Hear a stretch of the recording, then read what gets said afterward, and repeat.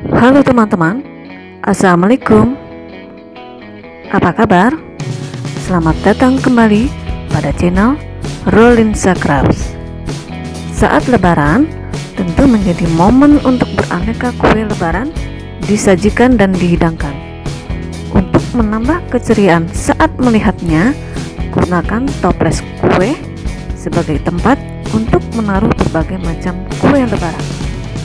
Pada edisi video momen spesial Idul Fitri ini, Rolling Crafts akan membagikan cara membuat toples kue lebaran yang cantik, unik, lucu dan menarik dengan topping krim dan strawberry. Bagaimana cara buatnya? Yuk, langsung simak cara pembuatannya di video ini di channel Rolling Crafts. Cara membuat toples lebaran dengan topping krim dan strawberry. Untuk berlangganan, tekan tombol subscribe, like, dan lonceng pada channel Rolling Crafts. Alat dan bahan yang digunakan adalah kain flanel warna merah, kain flanel warna pink, kain flanel warna putih, kain flanel warna krem, benang warna merah, benang warna putih, jarum jahit, dakron, meteran, spidol, gunting, lem tembak, dan toples. Pola ukuran diameter 8 cm ini untuk topping strawberry dan pola ukuran diameter 6 cm berbentuk bunga untuk topping krim kuenya. Langkah pertama, buatlah terlebih dahulu topping stroberinya dengan menggunting flanel warna merah membentuk bulatan dengan diameter 8 cm sebanyak 4 lembar. Lalu bulatannya dilipat dan digunting menjadi dua seperti ini. Guntingan tadi membentuk setengah lingkaran. Di sini saya hanya memakai 7 lembar saja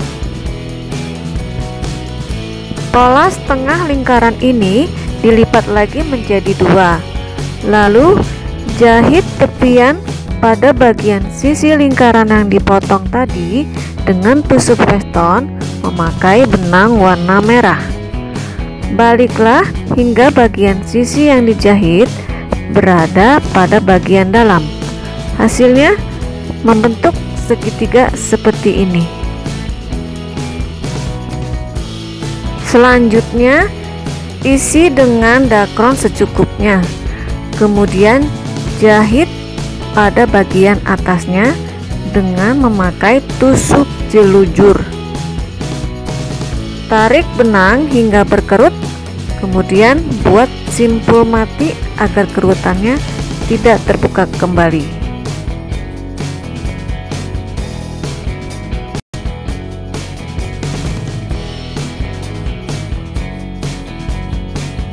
Buatlah topping strawberry ini sebanyak 7 buah.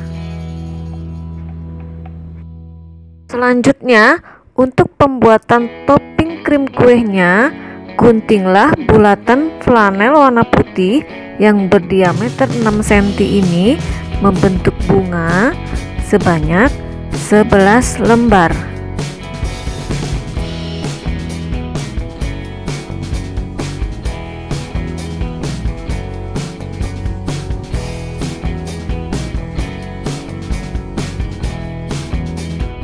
Langkah kedua, untuk pembuatan topping krim kuehnya, jahitlah ujung semua helai bunganya dengan tusuk jelujur sampai menyatu.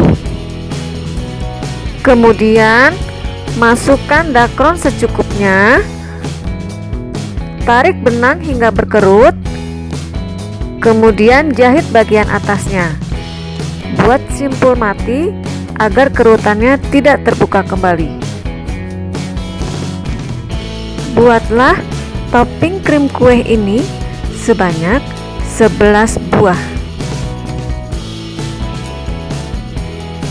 Langkah ketiga, ukurlah dengan menggunakan meteran untuk mengetahui panjang dan lebar badan toples.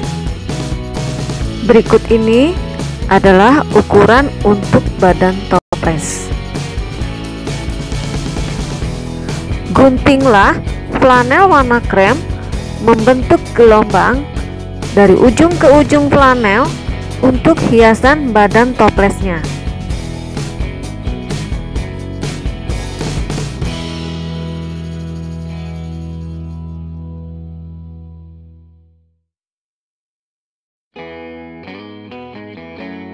Tahap selanjutnya, tempelkan lembaran flanel warna pink pada badan toples.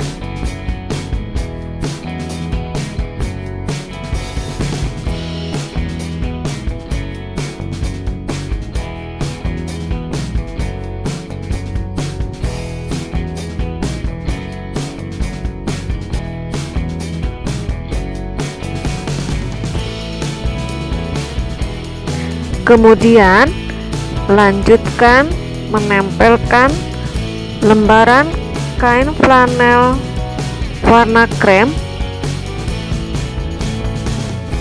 di atas kain flanel warna pink.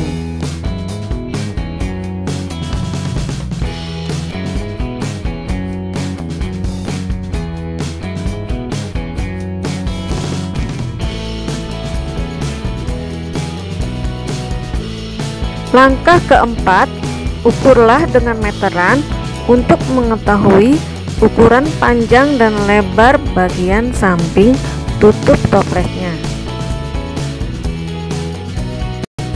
Berikut ini adalah ukuran bagian samping tutup toples.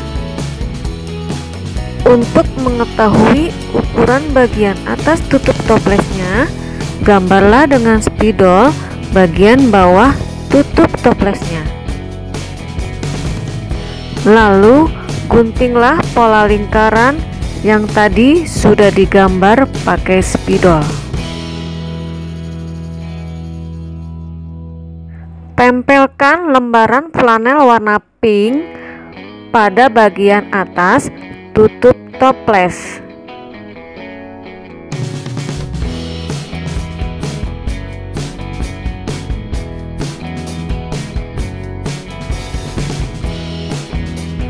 Selanjutnya, tempelkan kain flanel warna krem pada bagian samping tutup toplesnya.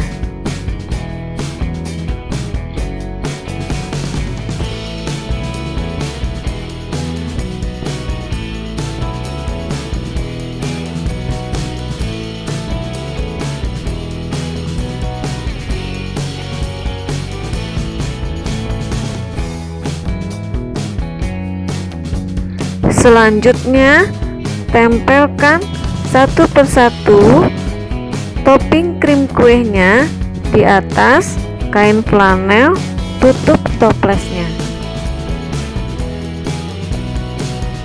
Lalu, tempelkan juga topping stroberinya.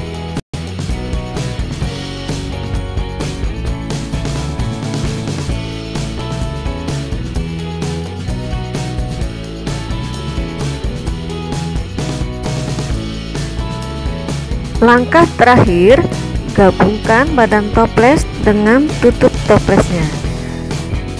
Proses pembuatan toples lebaran sudah selesai. Silakan mencoba.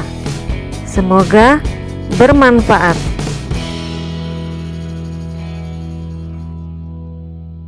Jangan lupa tekan tombol subscribe, like, dan nyalakan loncengnya pada channel Rolling Sakrabs. Jika bermanfaat, bagikan juga untuk teman-teman lainnya dengan menekan tombol share. Terima kasih. Nantikan video lainnya di channel Rolling Sakrabs. Sampai jumpa di video selanjutnya. Wassalamualaikum warahmatullahi wabarakatuh.